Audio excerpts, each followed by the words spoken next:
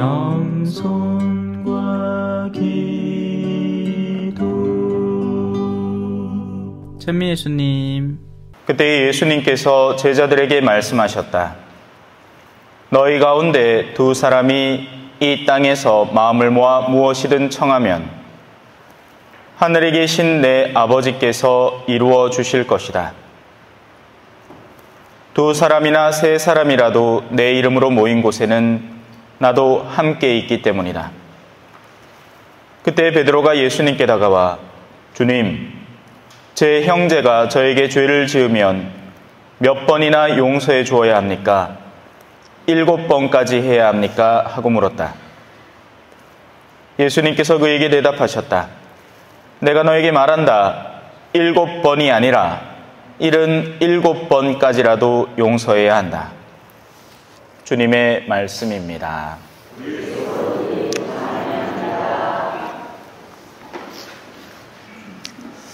천미 예수님. 용서에 대한 대표적인 오해를 함께 살펴보겠습니다. 적지 않은 전주교 신앙인들 가운데에는 착한 병에 걸린 사람이 있습니다. 착함과 착한 병이라는 것은 완전히 다른 두 가지입니다. 먼저 착함이라는 것은 하느님의 선의 흐름을 올바로 이해하고 그 흐름에 맞게끔 자신을 맞춰 살아나가는 것을 의미합니다. 옳은 것과 그른 것을 확고히 구별하고 옳은 방향으로 자신을 더욱더 증진시켜 나가며 그 옳음 안에서 다른 이들을 초대하고 이끌어주는 것, 그럴 능력을 갖추는 것들을 의미합니다. 이 사람은 착한 사람입니다. 너무 빨리 지나갔죠? 너무 빨리 지나갔습니다. 그죠? 예를 들어서 참외밭에 일을 하는데 책 하나 들고 와가지고 네 지금 몇월 며칠에는 무슨 작업하는 날 하고 자 그러면 그 작업은 몇 페이지 해가지고 이 사람 참외 아는 사람입니까 모르는 사람입니까 모릅니다 그죠 참외밭에 딱 들어가가 참외 꼬라지를 싹 보고 야야 저 저 뒷간 가갖고 뭐 갖고 오니라 해가 그날 할 것 쑥 하고 집에 가 잡니다 이게 아는 사람이죠 언제 어디서 지금 상황에 어떤 역할과 어떤 일이 착착착착 이루어지는지 식별하고 아는 사람입니다. 그거 모르마 이제 참에 금방 이제 와고 첫해 하는 사람 맨키로 해가 이제 막 배우는 기라 극하다가 보면 막 멀쩡한 참외가 다음날 가보면 다 죽어 있고 막 그래. 그죠? 착함이라는 것은 올바름에 대한 올곧은 관념을 내면에 탑재하고 그 영역을 성실하고 책임감 있게 나날이 걸어가는 사람을 착하다라고 하는 겁니다. 네, 한번 더 풀어서 설명했어요. 네. 오늘 복음에 등장하는 용서라는 것도 이 착함 안에서 이루어져야 하는 겁니다. 자, 그러면 이제 하나 남았죠. 뭡니까? 착한 병이 있습니다. 이건 착해 보이려는 노력입니다. 착하지는 않아요. 착해 보이고 싶은 거예요. 사기꾼들은 착해 보여야 됩니다. 네, 딴 게 아니고 여러분들한테 이윤을 15% 남가주려고 안 가요. 내가 딴 거 하려고 하는 게 아니고 지금 이 회사에 나오는 제품을 여러분들이 등록해가 삼아 PB가 쌓이고 그래 여러분들이 사업자로 등록돼가 잘 삶아 내가 기뻐서 안 가요 하면서 온갖 사기꾼들이 이거죠. 다단계나 뭐 이런 걸로 사람들을 현혹시키죠. 엄청 그들에게 좋은 걸 해준다는 듯이 실은 지 실속을 다 챙기면서 그죠? 착한 사람들입니까? 착하지 않습니다. 착한 병에 걸린 사람입니다. 착한 척을 해야 되는 사람들이죠. 악마도 착하게 보여야 사람들이 꼬시킴을 당하고 유혹을 당해오지 악마가 시작부터 하고 나오면 누가 악마한테 꼬시킴 당하겠습니까? 신부한테 아주 묘령의 여인이 신부님 저 외로워요 이래야 사제가 가슴을 콩닥콩닥 하면서 그런가 싶고 그렇지 막 오만상 험악한 꼴을 해가지고 막 표독스럽게 다가오면 시작부터 도망가고 말죠. 예. 착한 병이라는 것은 사회적인 동의 안에서 착함에 대한 주변의 사상들의 영향을 많이 받습니다. 이러면 착한 사람이다 하는 주변의 통상적인 의미에 의미를 많이 두고 그걸 뒤쫓아가려고 애를 쓰는 겁니다. 성당 안에서 착한 사람은 보통 누구냐? 기도를 많이, 횟수를 많이 하는 사람들, 뭐 어디 성지 순례를 많이 댕겨온 사람들, 뭐 어디 귀한 분들의 표창장을 받아서 집에다가 떡떡 붙여놓은 사람들. 그거 아니면 어디 뭐 아프리카 소년 돕는다고 3만원씩 주는 거, 거기 이제 편지 받은 거를 벽에 딱 붙이면서 손님들 오마 항상 보시라고. 예, 내, 나 이런 사람이야, 알았어, 기여. 하는 사람이 되는 겁니다.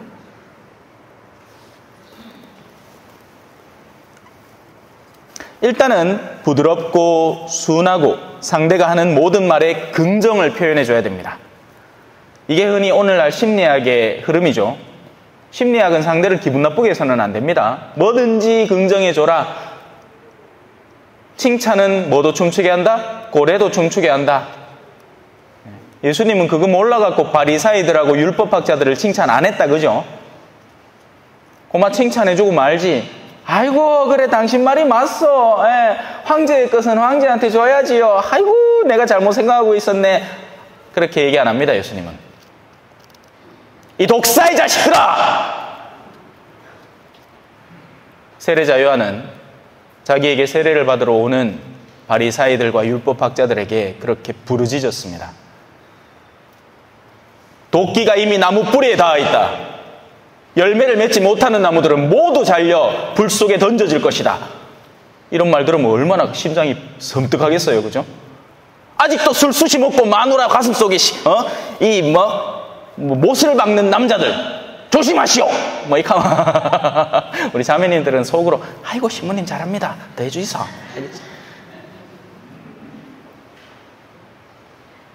맨날 첫날 한다는 거는 나가갖고 노름이나 하고 들어오고 왜? 뭐 하면 심장이 섬뜩 안 하겠어요. 그죠? 착한 병에 걸리면 이런 얘기 못 한단 말입니다. 아이고, 우리 신자분들, 오늘도 미소 와주시가 고맙고, 항상 그래 잘 사이시니께네, 내가 참 복이 좋으십니다. 뭐 이런 얘기는 하는 거죠. 네. 사제로서 올바른 식별에 관한 이야기는 입을 싹 닫아버리고, 그저 사람들 기분이나 좋게 해주고, 사람들이 들어도 전혀 양심의 가책이 없을 만한 신학적 논쟁이나 강론 안에 펼치거나 아니면 아예 정치 이야기나 드라마 이야기나 하는 사람들.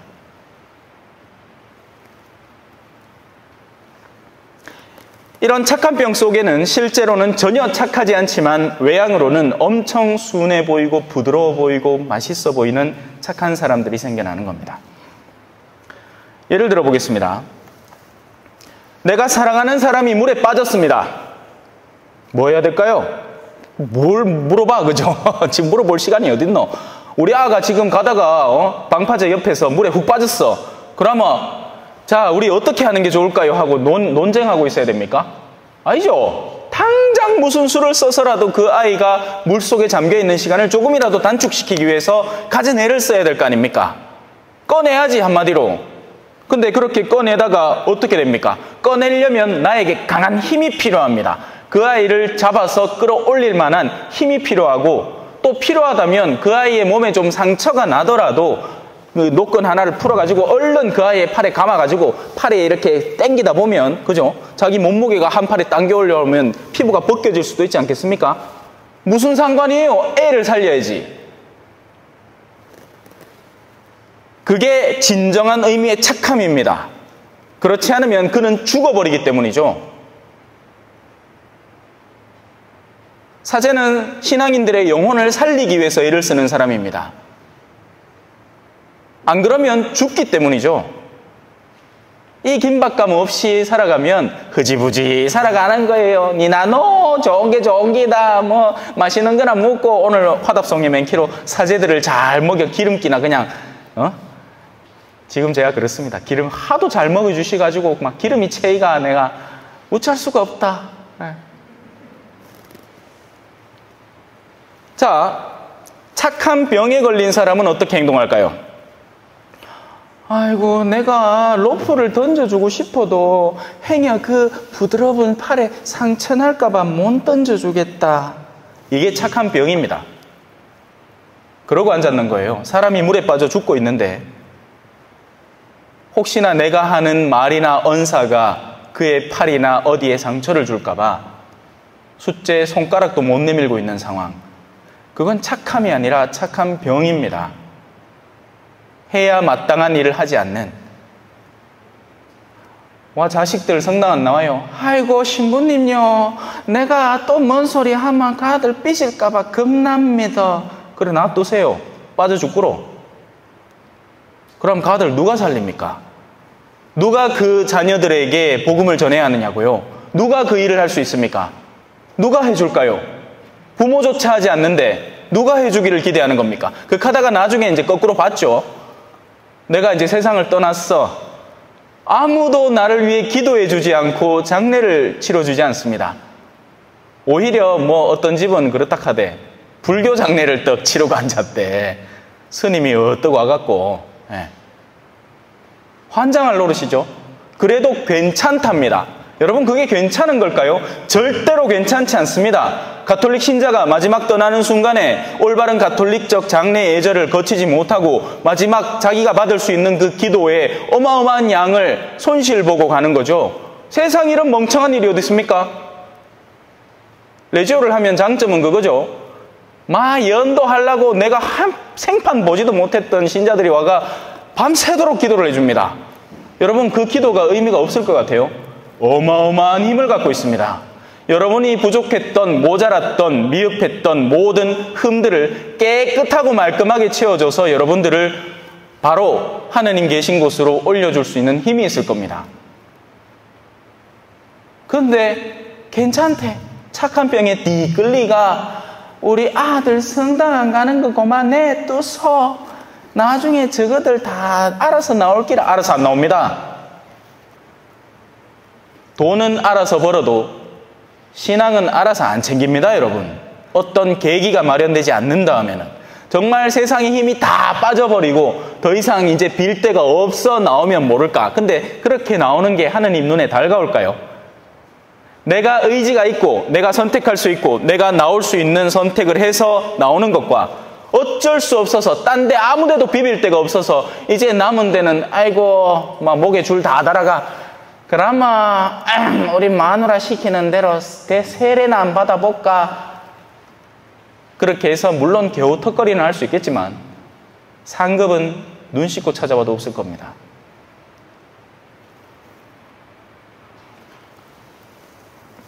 자, 이제 착함과 착한 병에 대해서 식별력이 생겼죠. 그러면 이제 용서로 들어갑시다. 용서라는 것은 도대체 어떻게 이해해야 하는 것일까요? 오늘 복음을 바라보는 착한 병 신자들은 무턱대고 모든 어두움을 없애야만 한다고 착각을 합니다. 용서를 해주라. 몇 번? 77번 해주라. 아이고, 내가 착하지를 못해가지고 용서를 아직도 못하고 있구나. 이렇게만 생각하는 겁니다. 거듭해서 죄를 저지르고 그 어둠이 갈수록 심화되고 있는데 그 대상을 어떻게든 내가 용서해야 된다고 착각을 하는 거죠.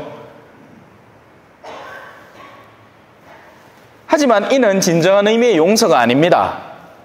그런 건 용서가 아니에요. 그건 방치죠. 사람이 술 먹고 싶다 하는데 그 술을 끊게 도와주는 것에 어떻게든 조력하는 것이 착함에 대한 방향이지 술 못 먹게 말리만 내 두드리 팬다고 아이고 그래 뭐 오늘 또 주고 말고 내일도 주고 말고 그렇게 좋은 게 10년을 좋은 거예요. 그러다 보니 그가 10년 전보다 훨씬 더 중독 상태에 빠져들어 버린 겁니다. 이게 착한 병이 저지르는 만행입니다. 은근슬쩍 다들 그렇게 하는 것. 나 정도는 괜찮겠지.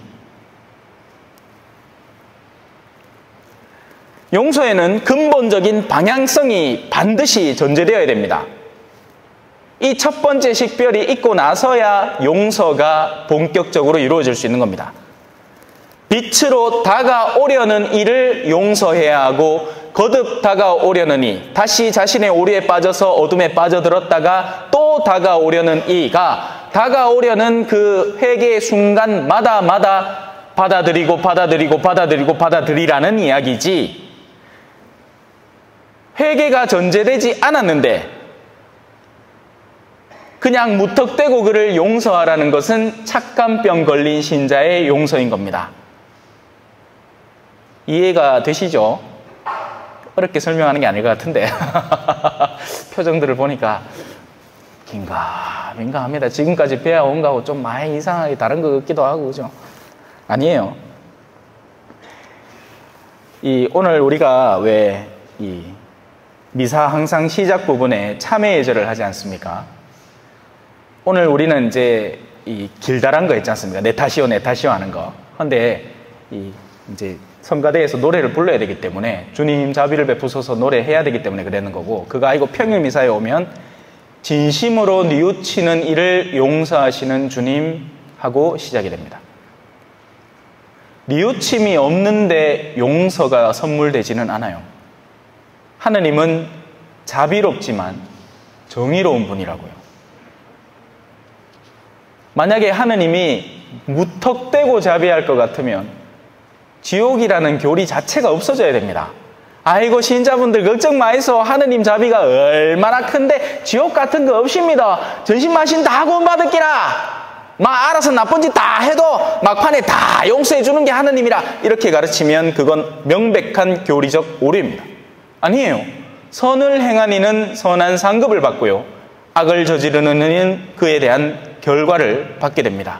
다만 그 어떤 짙은 악이라도 너의 죄가 다온같이 불거도 회개하려는 마음만 먹으면 하나님께서는 은총의 힘으로 그를 씻어서 빛으로 나오게 도와주는 분이지 그게 하나님의 자비지 회개하지 않았는데 그를 그냥 용서 대놓고 용서해 준다 이런 일은 없습니다. 그런 일은 없겠죠.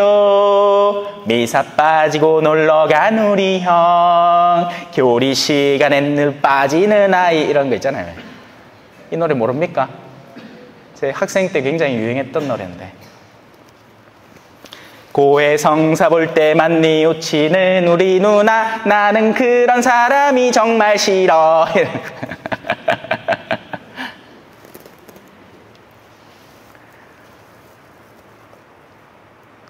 예수 그리스도는 그냥 복음을 믿으라고 하지 않았습니다. 복음을 믿기 위해서 먼저 회개하시오. 하늘나라가 가까이 다가왔습니다. 하고 회개에 대한 초대를 먼저 합니다. 이걸 완전히 상, 이, 지워버리고 그냥 성당은 그냥 좋은 곳, 그냥 좋은 사람들이 모인 곳, 그냥 무조건 다 받아주는 곳이라고 착각하시면 큰일 납니다. 그렇지 않아요.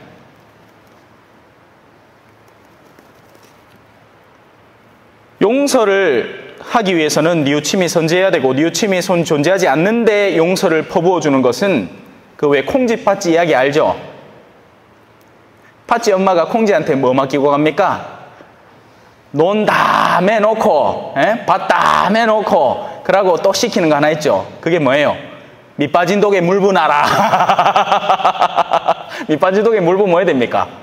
뭘 왜 돼? 줄줄줄줄 다 세지. 예. 제가 한국 교회를 바라보면서 느끼는 것 중에 하나는 이 낙태에 대한 구멍이 영혼에 뚫려 있다는 겁니다. 그리고 적지 않은 이들이 오히려 자매님들은 나아요. 왜? 자기가 했잖아. 그렇기 때문에 느끼는데 근데 뭐 어디 낙태를 할 알을 혼자 만듭니까? 뭐 전부 다 동정녀 마리아가 아니잖아.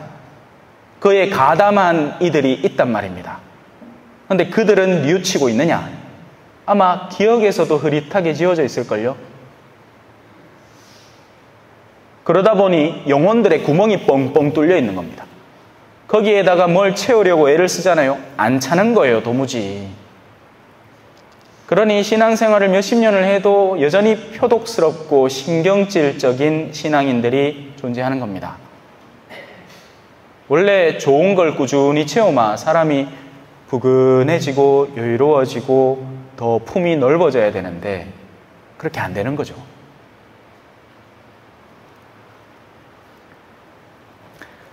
밑빠진 독을 메꾸어야 됩니다. 그 메꾸는 방법은 어렵지 않아요. 그게 바로 회개입니다. 구멍 자체를 메꾸는 건 우리가 하는 일이 아니에요. 하느님께서 해주시는 일입니다. 하지만 그 능력을 우리가 어떻게 대신 빌려올 수 있느냐? 뉘우쳐야 하는 거죠. 아, 내가 잘못했구나 하는 것을 인정하고 수용해야 하는 겁니다.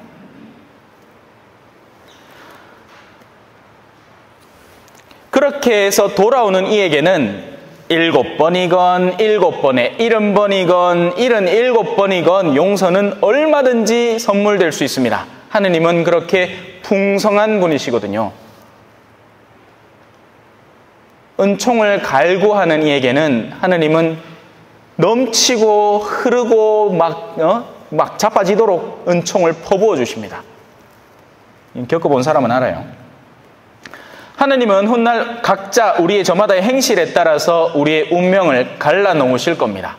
성경을 성실하게 읽는 사람이면 그냥 좋은 게 좋은 거다라는 생각을 절대로 가지지 못합니다. 하느님은 언제나 우리 앞에 축복과 저주를 내놓는 분이죠. 오늘 여기도 나오죠. 일독서의 제일 처음 시작 부분입니다. 내가 너희 앞에 내놓은 축복과 저주가 너희 위에 내릴 때 하느님이 그냥 마냥 부드럽고 온기가 가득하고 좋고 따뜻한 분이라고 착각하면 큰일 납니다. 그건 믿음 안에서 당신을 따르려고 애를 쓰는 어린아이와 같은 이들에게 선물되는 따스함이고 자기의 고집스러움 안에서 죄악을 꾸준히 유지하려는 이들에게는 냉혹하고 차가운, 차가움으로 느껴지는 분입니다. 왜냐하면 그분의 저주가 우리에게 다가오기 때문이죠.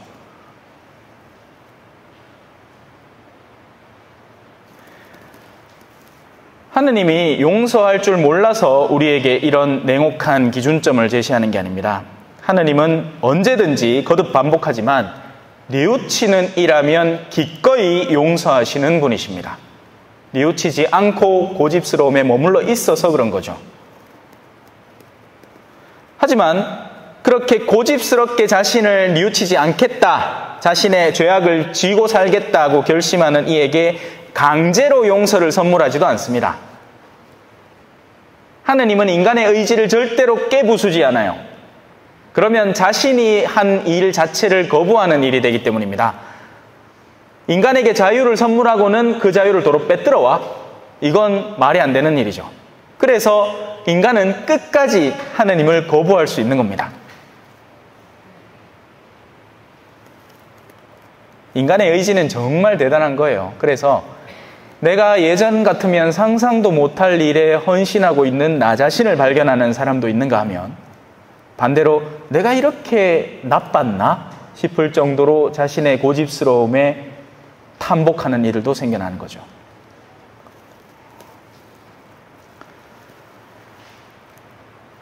오늘 우리에게는 하나님의 용서가 선물되어 있습니다. 그 용서를 만끽하기 위해서 우리는 기꺼이 회개로 뉘우침으로 하느님 앞에 방향을 다시 돌리는 방향으로 성실하게 걸어 나가야 할 겁니다. 아멘. 찬미 예수님, 겸손과 기도.